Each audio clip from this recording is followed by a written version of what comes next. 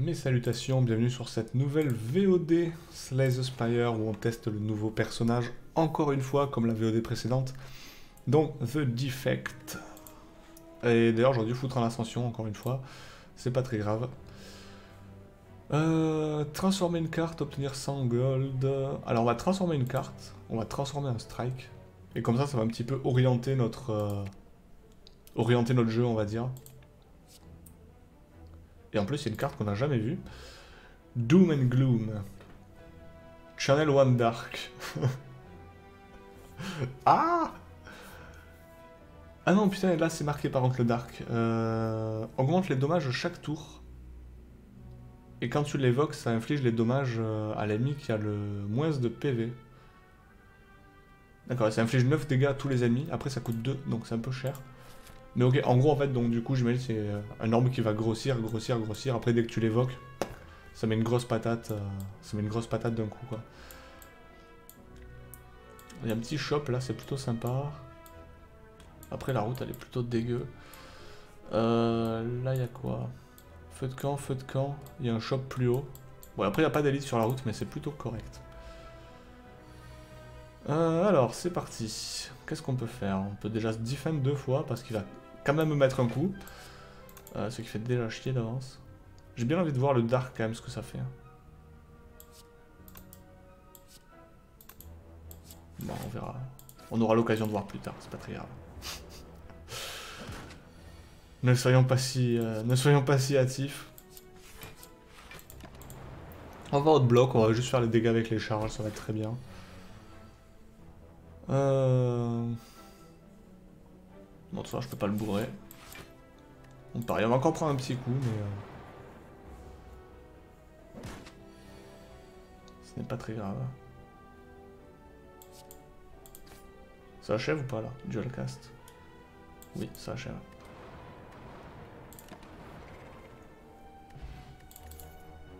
Alors... Euh, quand vous jouez un power, piochez une carte. À la fin de votre tour, ajoutez une carte commune random dans votre main. En fait, les trucs comme ça, il faudrait que j'arrête parce que ça, ça remplit le deck, mais genre euh, très rapidement. Peut-être essayer de se faire un deck vraiment full bourrin euh, cette fois, genre vraiment en full lightning, ça peut être assez rigolo. Trouver des potions On peut tout prendre, parfait. Une potion de bloc, ça c'est cool là.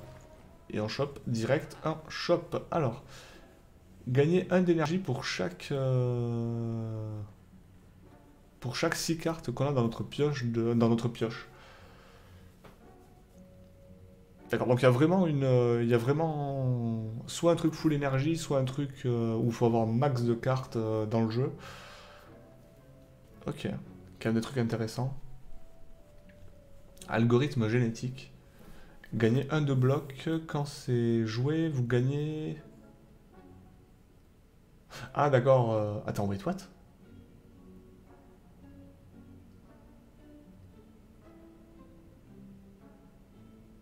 Donc c'est une carte, dès qu'on la joue, on gagne un de bloc.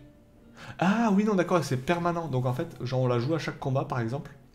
Et donc du coup, bah, première fois qu'on va... Parce qu'en fait, c'est exhaust. Donc c'est-à-dire qu'une fois qu'on l'a joué, on peut plus la jouer du combat. Par contre, du coup, c'est permanent. Donc, du coup, au début, ça file un bloc, puis après, ça filera trois de blocs, puis après, ça filera... Oh Ça peut être sympa, à la limite. On peut s'acheter ça, plus le capacitor. Capacitor, j'aime beaucoup.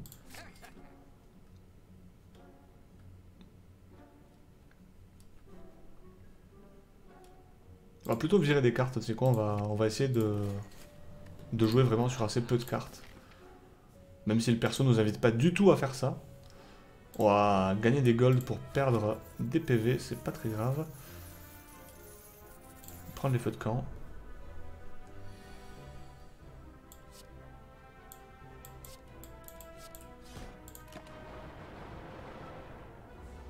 Ça tapouille quand même les, euh, les lightning, c'est plutôt correct. Doom and Gloom du coup. Donc de base elle inflige 6 points de dégâts. Et du coup, à la fin de mon tour, son... ses dégâts vont être augmentés de 6. Donc là, normalement, ça passe à 12. Ok. Ok. Ok, ok. Ça a l'air plutôt rigolo quand même. Oh, le dual cast. Le dual cast sur les charges d'arc, ça doit faire tellement mal.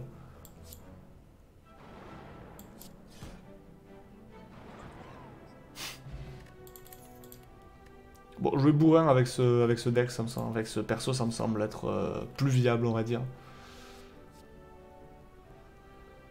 Au début de votre tour, utilisez la capacité passive de votre prochaine orbe. Donc, next orb, en fait, c'est celle qui est le plus devant.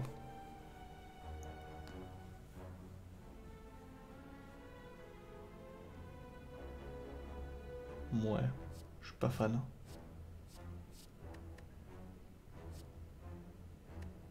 C'est un peu trop cher en fait. Tant pis, on prend pas. Petite amélioration, donc du coup on va améliorer le capacitor. Ça me semble assez, euh, assez logique en fait. Sauf si jamais ça peut channel plus de, plus de charge, mais ça m'étonnerait. Bon, dual casque qui coûte que 1, zap qui coûte 0. On va augmenter le capacitor. C'est quand même plutôt, euh, plutôt un gros buff, je pense. Alors, euh, on peut les massacrer en toute impunité. Ce qu'on va faire. Bon, donc ces mobs-là, dès qu'on leur met un coup, en fait, une fois par combat, ils se mettent en boule et du coup, ils gagnent de l'armure. Donc c'est pas, pas vraiment un souci de les latter. Euh, qu'est-ce qu'on pourrait faire? Inflige 6 dommages à tous les ennemis. Donc ça achève. Et vu que, ça vu que ça canalise une nouvelle charge, ça bouffe la dernière charge. Et en l'occurrence, ça bouffe une charge de lightning, plutôt intéressant. Inflige 4 dommages pour chaque orbe qu'on a... Euh... Channel. Ok. On va prendre un gros capacitor, en fait. On va essayer de jouer full lightning avec un capacitor de gros port, ça pourrait être rigolo. Donc pareil, on va encore augmenter la capacité. Là déjà, on peut monter à 7 orbes, c'est plutôt, euh, plutôt sympa, je trouve. Euh, on a dit qu'on voulait passer par le shop. Après, remarque, il y a un shop là-bas aussi.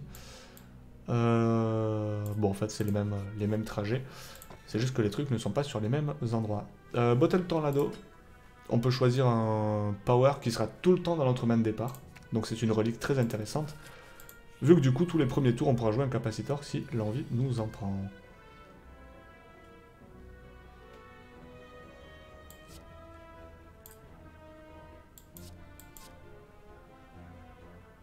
Je sais pas combien on peut monter d'orbes du coup. Peut-être dû jouer une potion de bloc. Je suis un peu con. Euh, remarque, là tu me diras, ça va être l'occasion.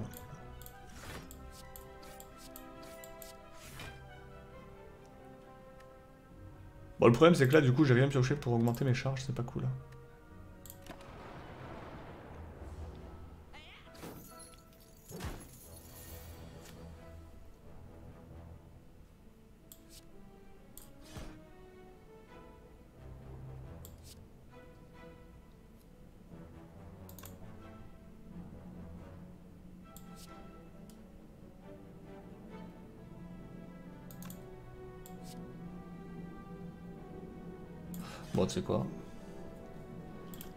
on va lui balancer la potion explosive à la tronche.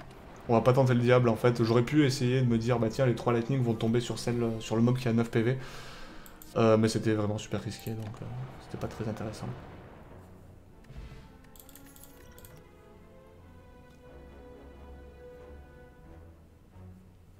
Force Field, ça coûte 4, mais ça coûte 1 d'énergie de moins pour chaque power que j'ai joué à ce combat.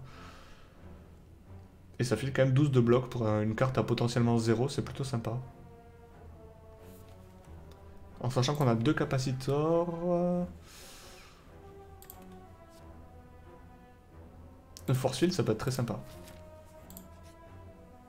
Alors...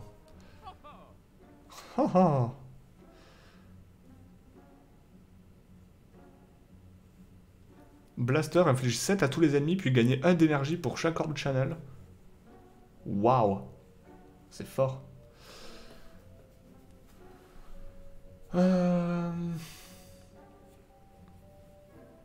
quand tu channel une orbe, pioche une carte. On va se prendre un glacier quand même, un petit truc de défense, ça me semble pas trop con. Euh, glacier est quand même une bonne carte, mine de rien. Après c'est cher, mais bon, c'est sympa.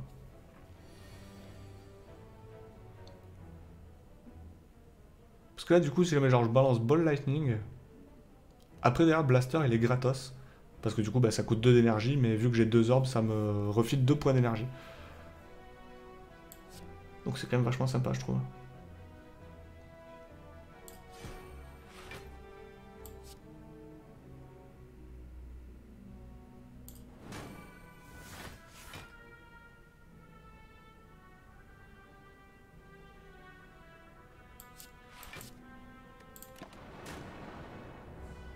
Derrière la foudre qui tombe. Ah, il y a quand même moyen de faire des petits combos sympathiques. Et donc là, du coup, vu que j'ai joué un power à ce tour, à ce, dans ce combat, Force Field ne coûte plus que 3. Mais là, en l'occurrence, ça ne servirait pas à grand chose. Juste balancer les strikes, et voilà, le combat est fini.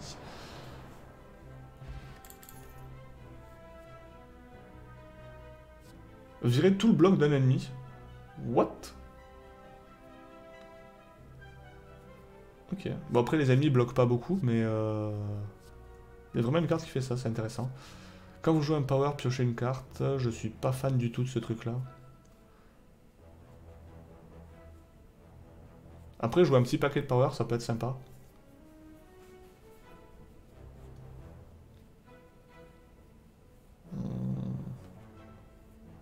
On va prendre ça, mais je suis pas, pas super convaincu par cette carte. Meat on the bone. Donc si jamais j'ai moins de 50% de PV à la fin du combat, je me soigne de 12 points de vie. Donc c'est plutôt sympa, genre quand t'es un peu dans la merde. Donc moi c'est pas encore totalement mon cas, mais, euh, mais quand t'es vraiment dedans, c'est pas mal.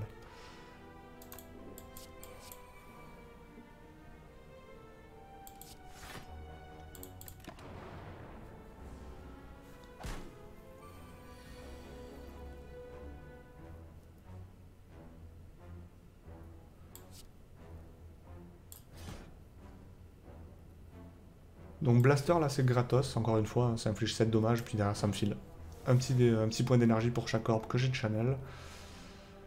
Euh, Doom and Gloom ça l'achèverait, donc ça peut être une bonne idée. Paf. Et vu que l'autre ne compte pas me taper à ce tour, je suis plutôt safe.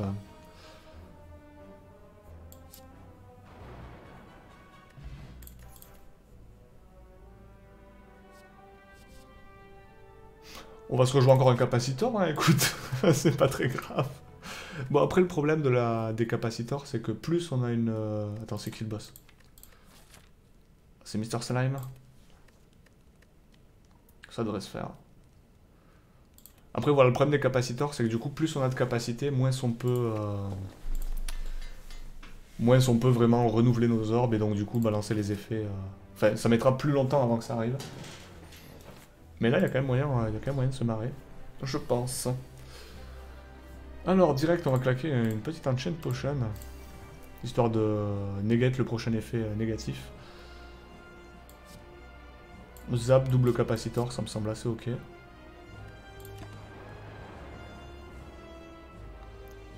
Ah non d'accord, Goop Spray ça, ça, passe au travers, ok. Bon il faut vraiment que je lamine du coup. Euh, on, va, on va channel un max de trucs. Et donc là, au prochain tour, en fait, il faudrait que je lui fasse tomber 39 PV. Ce serait l'idéal.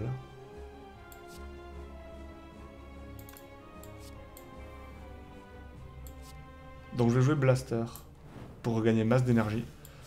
Capacitor, du coup, ça me fait piocher. Je peux jouer Glacier pour euh, me protéger un peu, c'est pas mal. Parce que du coup, j'arriverai pas à lui mettre les 39 points de dégâts. Donc on va en profiter pour essayer de se turtle un maximum. 18, oh là là, bim. J'ai pris très très cher. Bon, force field, là c'est un peu gratos. Il va prendre combien là au prochain tour? Il va prendre 12 euh, de plus. Euh. Donc alors en fait là ce que je vais faire c'est que je ne vais pas lui mettre le strike. Voilà, je vais jouer le slime. Euh, bon voilà, on s'en fout. Parce que du coup, là, les pouvoirs de Lightning ne vont pas le, ne vont pas le déclencher, parce qu'il va pas tomber à 70 PV, donc il ne va pas se séparer en deux. Et là, du coup, je peux vraiment lui balancer la max. Euh, là, je peux vraiment lui balancer euh, masse de dommages. Histoire que les, petites merdes qui en résultent aient moins de points de vie. Voilà, parce que du coup, là, par exemple, en fait, si j'avais été à 70 PV, il se serait séparé en deux trucs à 70 PV. Donc là, vu qu'il a 43, il va se séparer en deux trucs à 43, ce qui est déjà beaucoup plus gérable. Euh, je peux rebalancer encore un zap plus un glacier. Ce qui est exactement ce qu'on va faire. Bon, c'est quand même un putain de sapin de Noël maintenant le perso.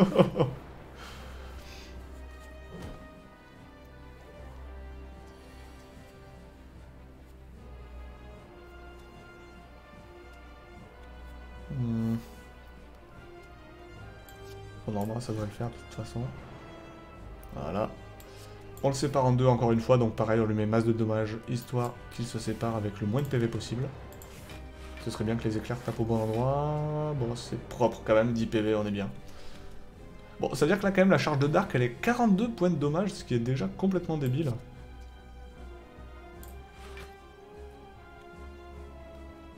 Et en vrai, j'aurais bien aimé, euh, j'aurais bien aimé réussir à dual cast euh, le Dark.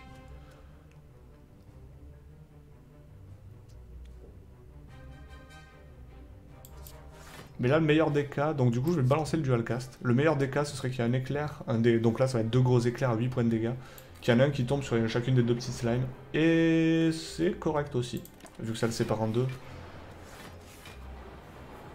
C'est quand même sympa. Faire deux vieux mobs à 9 PV, voilà. Bon là du coup on va mettre un petit overkill quand même à 48. Voilà, ça c'est fait. Donc ça tape automatiquement sur celui qui a le moins de PV. Euh, là, ça fait combien 4, 8, 12, 18 points de bloc. C'est pas terrible. Faut que les trois tombent sur le même. Ah, dommage Là, je vais prendre cher. Ah non, ça va, c'est du slime. Non, ça c'est pas terrible. Enfin, c'est pas terrible pour moi. Et allez. Voilà, donc là, du coup, Meet and the Bone, vous voyez, ça m'a refilé 12 PV. Bon, ça sert à rien parce que vu que j'ai tué un boss, ça me refilé full life. Mais bon. Reboot. Mélangez toutes, les... toutes vos cartes dans votre... Euh, non, toutes vos cartes dans votre pile de pioche. Puis ensuite, piochez 5 cartes. Donc en gros, en fait, je mélange tout mon... toute ma pile de défausse ainsi que ma main dans ma bibliothèque. Et ensuite, je repioche 5 cartes. Après, ça exhauste. Bon. Inflige 7 dommages à un ennemi random pour chaque lightning que j'ai channel à ce combat. Waouh, ok. Ou alors quand vous channel, euh, quand vous avez un channel d'orbe, piocher une carte. C'est super fort ça aussi. Ah, j'hésite. Thunderstrike c'est quand même ultra brutal. On va, rigoler avec Thunderstrike, ça coûte très cher, mais, euh, mais je pense que c'est jouable. Bon, Astrolabe c'est plutôt nul. Oh putain. Le tirage il est catastrophique. Euh, on n'a pas trouvé une seule, bonne une, boss relique depuis le début. Bon, ben on va piocher l'astrolabe, c'est pas grave. Donc du coup, je choisis trois cartes à transformer et je vais toutes les, euh, upgrade. Mais du coup, on va virer, bon, on va virer les deux strikes déjà parce que j'en ai franchement pas l'usage. Et ben, je pense qu'on va pouvoir virer un, un defend. Bon, on va virer un defend. Montrez-moi ce que je récupère, s'il vous plaît. Alors, Amplify, ce tour-ci, vos deux prochains pouvoirs vont être joués deux fois. Ok. Donc en gros, si jamais je joue Amplify puis Capacitor, en fait, ça va m'ajouter 4, euh, slots au lieu de 2 seulement. Sympa.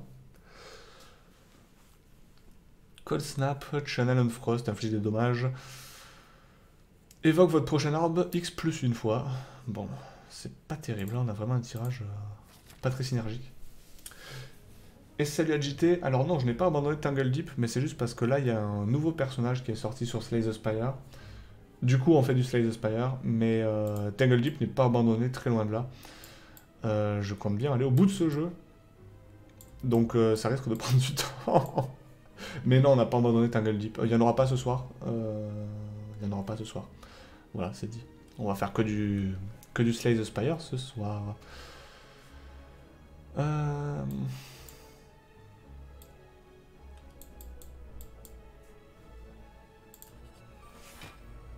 Ah, j'aime pas ce monstre. Il est méchant.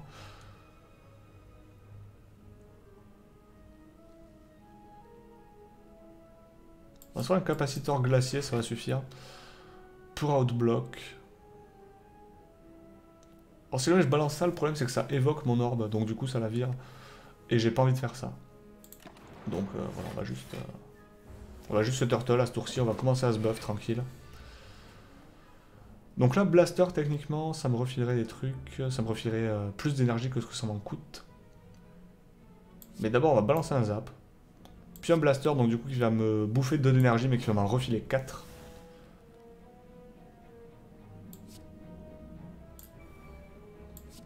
Heat Sinks, donc du coup qui se joue deux fois.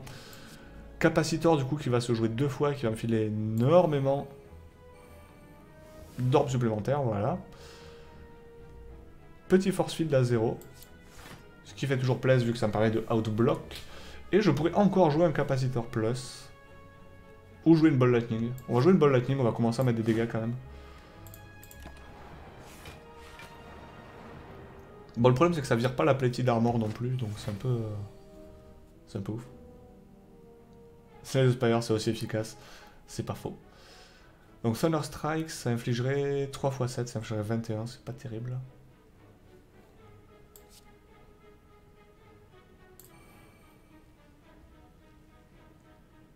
Ah, on a quand même une maximum orb capacity du coup qui est à 4, 5, 6, 7, 8, 9, 10. Ok, il y a quand même une capacité max. Euh, c'est intéressant à savoir. Donc là c'est bon, j'outblock. Donc je vais me permettre de balancer un petit Doom and Gloom. Ou en fait Doom and Gloom c'est vraiment, enfin les Dark Charge, euh, je sais pas s'il y a d'autres trucs qui vont en générer, je pense que oui. Mais c'est vraiment un truc à mon avis pour exhaust rapidement et pas sur un deck euh, comme le mien qui a, qui a autant de charges différentes. Euh, ah, mais Amplify, ça ne... Hé oui, non, ça n'exauste pas. Du coup, c'est plutôt naze, en fait, comme carte. Merde. Euh, bon, ben on va continuer à se charger comme des gros porcs, hein, écoute. Il euh, a pas de raison. Cette quantité d'effets qui se déclenchent à la fin. J'aime bien ce perso. Et salut Dareg.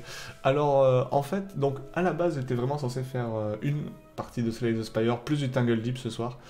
Néanmoins, il y a ce nouveau personnage là qui est sorti sur euh, Slay the Spire et du coup toute la soirée je vais faire du Slay the Spire. Euh, tout simplement parce que c'est cool. Voilà.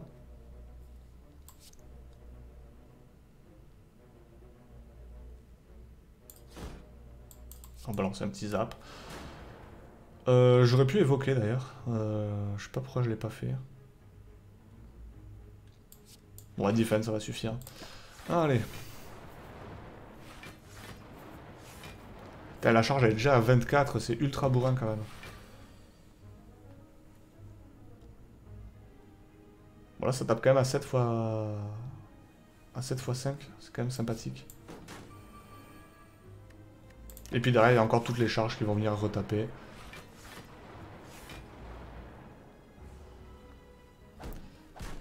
Mais oui non, dans tous les cas c'est sûr et certain, vous en faites pas, Tangle Deep n'est pas abandonné. Euh, tout simplement parce que j'ai pas envie de l'abandonner, donc... Euh, donc ce ne sera pas le cas. Défragment. Gagner 2 de focus. C'est un power en plus. Oui, je dis oui. Gagner du focus, ça va être assez important, je pense. Euh, removal strikes, obtain 5 bytes. J'en ai pas l'usage. Donc bytes, en fait, voilà, c'est des cartes qui... Donc les strikes, ce sont les... Les cartes de base, donc du coup, je les ai toutes virées. Mais c'est voilà les cartes qui tapent à 6 euh, pour 1. Euh, Bite, du coup, ça tape à 1. Enfin, ça coûte 1, ça tape à 7 et ça vous soigne de 2 PV. Donc c'est vachement intéressant. Mais pas pour ce build. Enfin, pas pour ce perso même d'ailleurs, je trouve. Mais bon.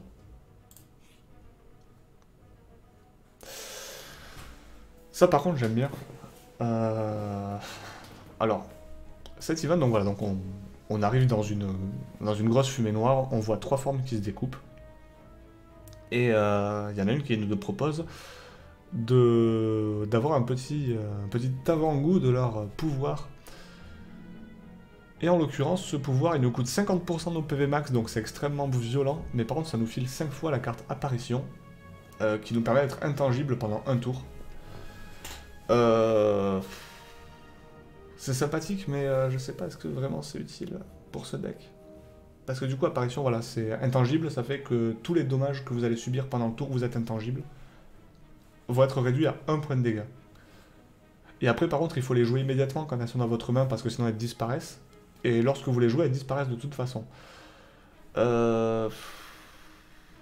Non, c'est bon, ça ira, merci. Bon, voilà, tant pis. Je sais pas, sur ce perso, je le sens pas. Euh... Ça, c'est pas cool, par contre, de jouer... Euh de jouer contre ce perso, j'avais pas spécialement fait gaffe. Mais ça va être l'horreur.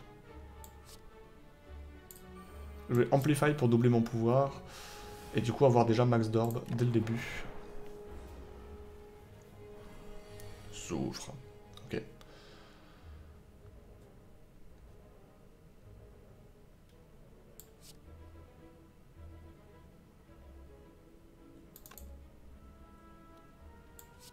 Alors je peux balancer un Cold Snap. Donc là, je pourrais balancer un Blaster gratos. Néanmoins, je vais attendre d'avoir beaucoup plus de...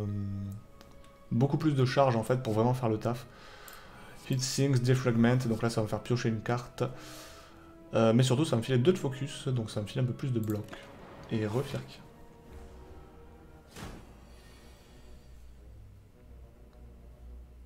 Glacier, direct. Aucune hésitation. Euh, et donc là, j'outblock, hein, on, fait, on fait quand même... Euh, on a quand même masse de blocs. Donc c'est pas la peine de jouer le defend, vu que ça va encore une fois clutter mon deck. Donc ce n'est pas quelque chose que je souhaite. Et continuer à m'empiler des vulnérables, c'est pas sympa.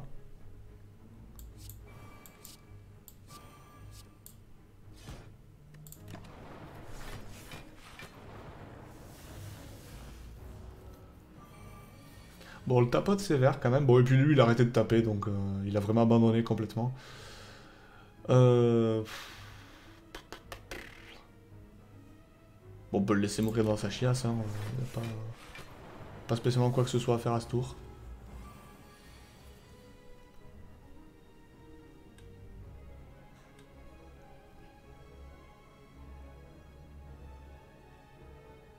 Là, si jamais je balance glacier... Non, en fait, il faudrait que je blaster avant, dans tous les cas. Donc on blaster, donc ça va nous refiler 5 d'énergie.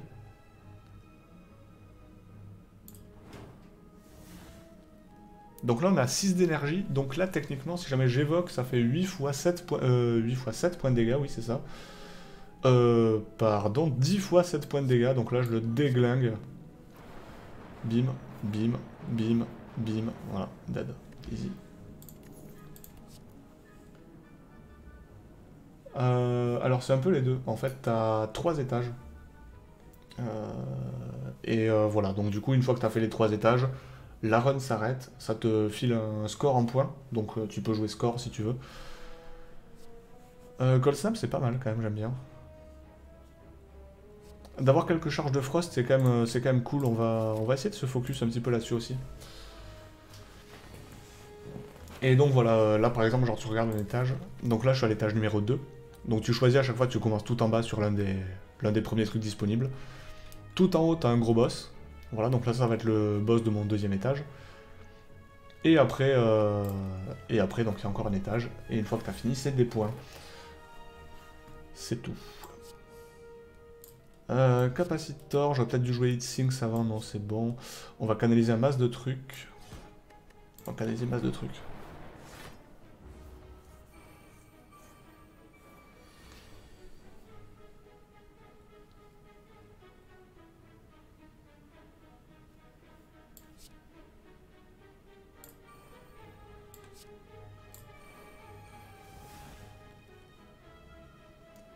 Donc là, ça, ça tape à 12. Si jamais je balance un multicast, ça boufferait ma charge, donc c'est pas intelligent. Donc on va pas faire ça.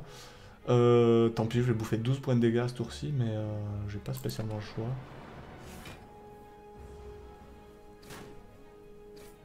Et voilà, après, l'histoire, en fait, elle est un peu cryptique, en gros. Euh. donc c'est difficile, on va dire, de l'expliquer. Ah, 6, 6, 6. Donc là, on bloque pile poil, donc c'est parfait.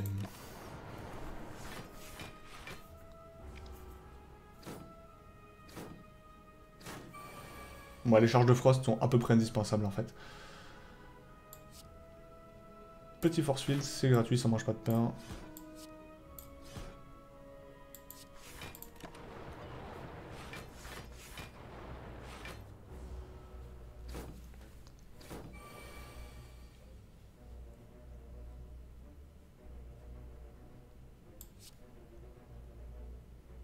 Il y a moyen de faire un tour rigolo. Euh, il y a moyen de faire un tour assez marrant. On va balancer un blaster, du coup, qui va nous filer... Euh, bah, donc voilà, ça fait quelques dégâts, mais surtout, ça nous file masse d'énergie. Et du coup, on va balancer un multicast, du coup, qui va taper à 12 x 9. Voilà. Putain, c'est brutal. Ok, c'est plutôt sympa. Ça rappelle un autre jeu dans l'espace, le concept Ben voilà, en fait, c'est très proche de Faster Than Light. C'est le jeu auquel tu penses. Euh, gagne 7 de bloc X fois.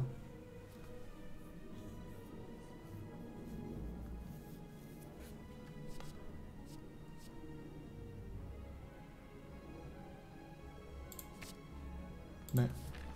Mais ouais, voilà, c'est assez proche d'un Faster Than Light pour le coup. 9 de bloc X fois. Mince, j'aurais pensé que ça aurait été X plus une fois. Du coup, en fait, c'est pas très intéressant. Euh, parce que voilà, ça aurait permis en fait d'avoir une carte de bloc pour 0. Euh, ce qui aurait été sympa, mais bon.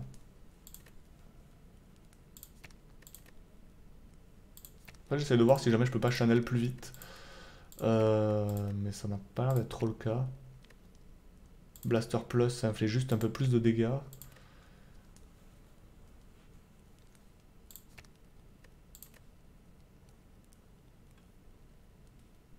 Un petit zap à zéro, ça pourrait être intéressant. Allez. Mais donc voilà, et pareil, euh, Faster Than Light aussi, c'est... Euh, il me semble que c'est un système de points. après, c'est un peu plus hardcore à terminer quand même. Euh, Faster Than Light que... Ah, j'aime pas ce combat. En plus, j'ai pas d'artefact. Ouh, ça va être compliqué. J'aurais peut-être même dû commencer par le Chosen, en fait. par le, le cultiste.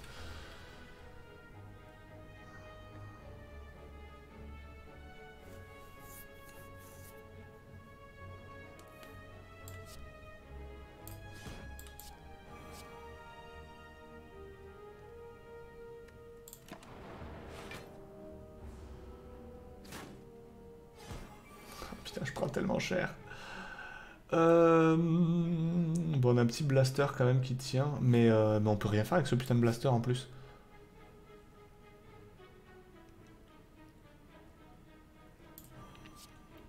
Est-ce que c'est le DC On va tout picoler et on va... On va prier pour nos âmes.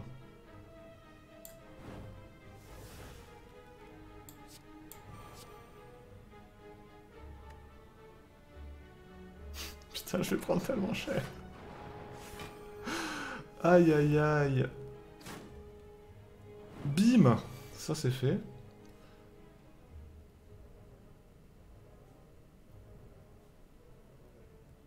On peut jouer un glacier déjà, c'est pas mal.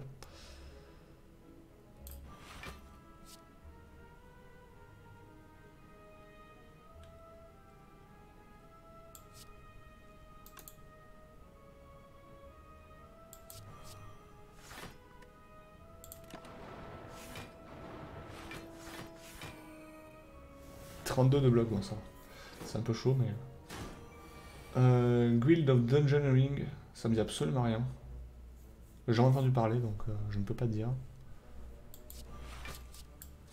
Bon, moi c'est bon, c'est passé. Là, maintenant c'est bon, ça y est, je suis full charge. Euh, le... combat ne va pas poser trop de soucis. Bon, surtout que là, voilà, j'ai juste exhaust de charge. Et ça devrait finir. Oh putain. Dans 31. Là, j'ai 8, 16, 18, 28. 33. C'est bon, ça passe.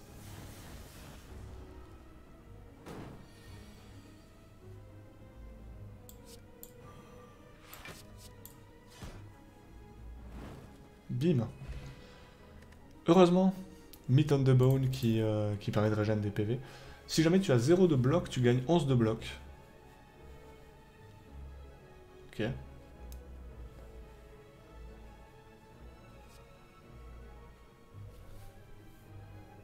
Euh, sinon, tu joues qu'avec les cartes, pas avec le stuff sur le perso. Alors, si, tu as les reliques aussi. Je suis désolé, j'avais pas vu le message. Euh, tu as les reliques aussi en haut. Donc, du coup, c'est des objets que tu peux récupérer euh, au fur et à mesure de ton aventure. Mais t'as pas de stuff à proprement parler en fait. T'as voilà, les reliques et les, et les cartes.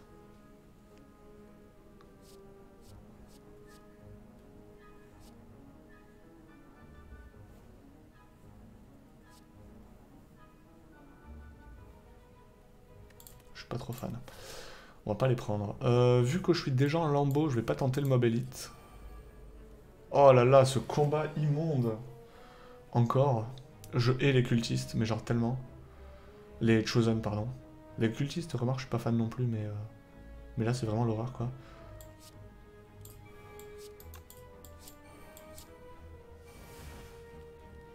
Ok. voilà, on est déjà au maximum capacité. Easy. Bon, par contre, voilà, on a pris 10 euh, points de dégâts plus le weak, donc je pense que je suis mort. Bien que...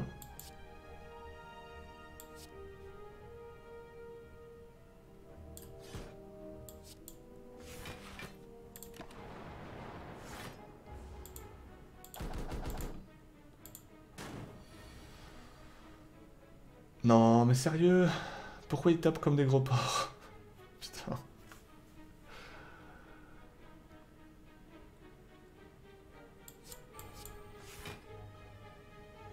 Ça suffira jamais.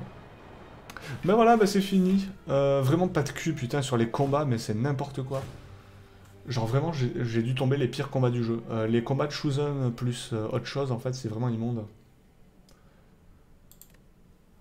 Alors, oh, New Unlock. je réponds juste après, Firk. Alors, nous avons récupéré du coup... Donc ça, c'est des cartes qui peuvent apparaître dans les runs futurs. Parce que donc du coup, il n'y a pas tout qui est débloqué. Il faut faire plusieurs parties avec le même perso. Pour que ça se débloque au fur et à mesure. Inflige 8 points de dommage. Placez la prochaine carte que vous jouez ce tour-ci au-dessus de votre bibliothèque. D'accord, ok. Pourquoi pas. Oh Mettez vos HP à ce qu'ils étaient au, tour précédent. D'accord. C'est ce qui est plutôt sympathique. La première carte que tu joues chaque tour est jouée deux fois. Ok, des cartes sympathiques quand même qui sont débloquées. Ok. Et donc du coup, euh, quand tu commences la partie, donc genre par exemple, voilà, je vais commencer standard. Euh, The Defect, euh, la relique de départ de The Defect sera toujours Cracked Core. Voilà. Et au départ, son deck il sera toujours le même. Donc le, le deck du Defect, je crois que c'est 4 strike, 4 defend, un truc qui permet de générer une charge lightning et le truc qui permet de, décharger pour balancer, euh, pour balancer des gros effets. Euh, le Silent, pareil, il a toujours son même deck ainsi que sa relique de départ. Et euh, l'Ironclad a toujours sa relique de départ ainsi que son propre deck. Et c'est ensuite, au fur et à mesure de ton aventure seulement, que tu vas débloquer plus de reliques et plus de cartes pour, pour te build. Mais voilà, au début, tu commences toujours sur une base similaire, quel que soit ton objectif, on va dire. Enfin, dans tous les cas, je vais vous laisser là pour la VOD. Le stream continue encore une fois. Et euh, voilà, donc du coup, ben, prochaine fois, rebelote, euh, prochaine VOD, on repart à nouveau sur ce perso. J'ai du mal à comprendre en fait comment bloquer les dommages efficacement avec ce perso. Parce qu'autant les autres persos ont plein de cartes de bloc à, spammer vraiment comme des ânes. Euh, ce perso, c'est pas trop le cas, et du coup, du coup ça m'intrigue. Mais bon, on verra bien. Merci à tous d'avoir suivi, à la prochaine, au plaisir.